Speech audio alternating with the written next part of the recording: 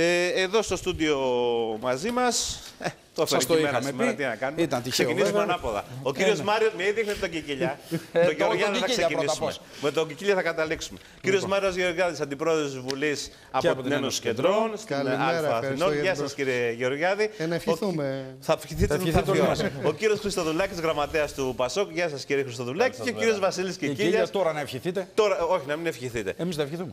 Βεβαίως θα ευχηθούμε. Με το καλό, κύριε Με το καλό. Κικίλια. Ευχαριστώ πολύ. Και επειδή είστε είστε εκ των καλά. τελευταίων, μάλλον εργένιδων που κυκλοφορούν στη Βουλή, το σκεφτήκατε καλά; Ναι, φυσικά και το σκέφτηκα πολύ καλά. Σας ευχαριστώ πολύ για τις ευχές σας. Πότε με το καλό; ότι. Εντάξει, είμαι και είμαστε πολύ χαρούμενοι σε τον Ιούνιο σε μια ενορία της Αθήνας. Μάλιστα. Και άμα κάνει εκλογές ο Τσίπρας, Κυριακή ή Σάββατο θα το κάνετε.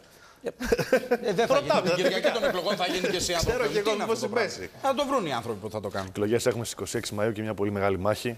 Έτσι. Μην μου οποία θα τόσο παρακαλώ. δώσουμε- Θα πείτε, θα θα τα πείτε δώσουμε μετά. όλες θα τις τα δυνάμεις. πούμε Ναι. μετά, πείτε. Ναι. Είστε ευτυχισμένος, πρέπει να το πούμε, δείχνει χαμογελαστό και κιόλας είναι μια χαρά. ευχάριστος. Νέος άνθρωπος με το καλό. Σας ευχαριστώ πολύ. Να είστε καλά. Να είστε Τώρα καλά. μπορείτε να ευχηθείτε οι υπόλοιποι. Οι υπόλοιποι να Βίων ευχηθούν. ανθόσπαρτων.